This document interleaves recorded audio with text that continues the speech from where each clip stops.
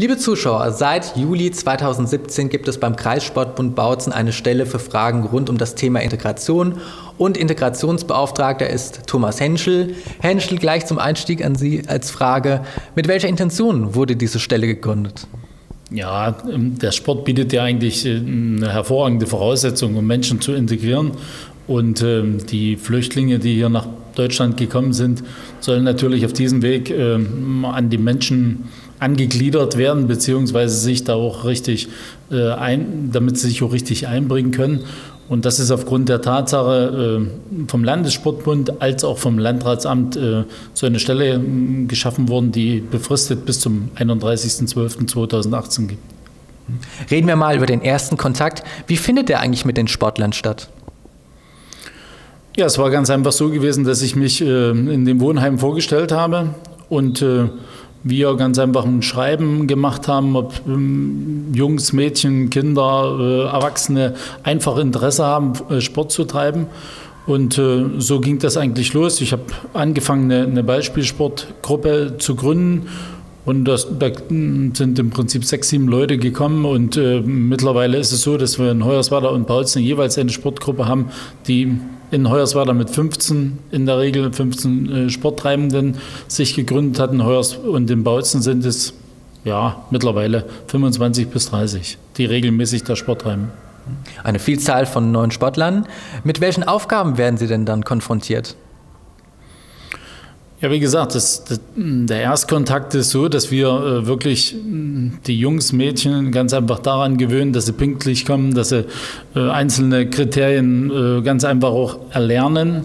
Und dann kommt es natürlich äh, dazu, dass ich möglichst diese äh, Sporttreibenden an Vereine äh, ja, orientiere, beziehungsweise dass ich die vermittle, ähm, damit sie in den Gruppen vor allen Dingen mit deutschen Leuten noch zusammenkommen reden wir einmal über Schwierigkeiten, die es ja durchaus auch gibt.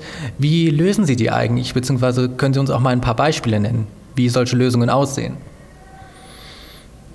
Ja, es gibt äh, verschiedene, verschiedene Varianten, dass man äh, angefangen von der Pünktlichkeit, dass man da wirklich auch mal ein paar kleine, kleine Strafen in Form von Liegestützen äh, ja, da auswählt oder die, die Betroffenen ganz einfach da mal äh, versucht zu erziehen in dieser ganzen Sache. Es gibt äh, sicherlich auch mal Zwistigkeiten untereinander, wenn es im Wettkampf geht, aber das sind ja genau diese Punkte, die wir auch mal ein bisschen rauskitzeln müssen und dann ganz einfach äh, Lösungen den, den Jungs äh, vorschlagen und, und äh, das ist so ein bisschen so eine, so eine Geschichte. Ansonsten muss ich ehrlich sagen, äh, habe ich keine großen Schwierigkeiten bis jetzt gerade mit einem sportlichen Wettkampf gehabt. Äh, da gibt es klare Kriterien und, und danach ähm, richten die sich auch. Ziehen wir mal so eine kleine erste Bilanz. Wie wird denn die Stelle eigentlich wahrgenommen? Ja, mittlerweile nach einem halben Jahr äh, hat sich da vieles eingespielt, beziehungsweise bin ich da auch bekannt geworden, ob in Hoyerswerda, in, in, in Bautzen, in Radeberg oder in Kamenz. Und äh, ich habe einige Sportler vermittelt in, in, Sportvereine und das sollte eigentlich auch das äh, Ziel und der Zweck sein. Und seit äh, heut, dem heutigen Tag haben wir auch eine Abteilung Futsal direkt gegründet, die dem MSV Bautzen angeordnet ist oder angegliedert ist.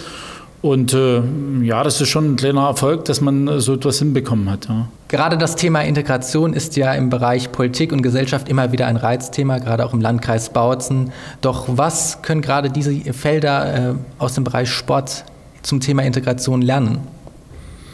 Ja, es haben sich sehr, sehr viele äh, männliche Personen, vor allen Dingen äh, Sportvereinen angegliedert und kommen da richtig gut klar mit den, mit den deutschen äh, oder mit den einheimischen Bürgern oder Sporttreibenden.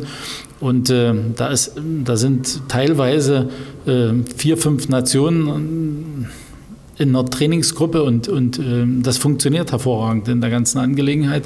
Und wie gesagt, das ist mit den Flüchtlingen ist der, der eine Punkt, aber es soll vor allen Dingen auch weitergehen, dass äh, diese Integrationsstelle auch äh, die Jugendhilfe mit einbezieht oder auch den Behindertensport, der jetzt äh, von uns äh, mit angepackt wird in dieser Richtung.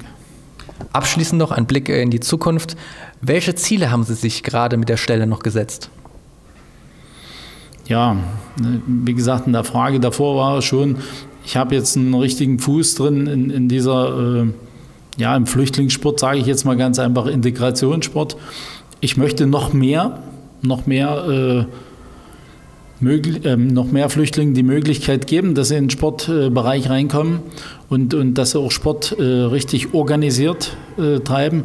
Aber noch mehr äh, möchte ich jetzt in dieser Jugendhilfe, weil ich glaube, äh, es gibt viele benachteiligte Kinder und Jugendliche, die äh, vielleicht nicht die Möglichkeiten im finanziellen haben, dass ich dort vermittle und auch denen die Möglichkeit biete, Sport zu treiben.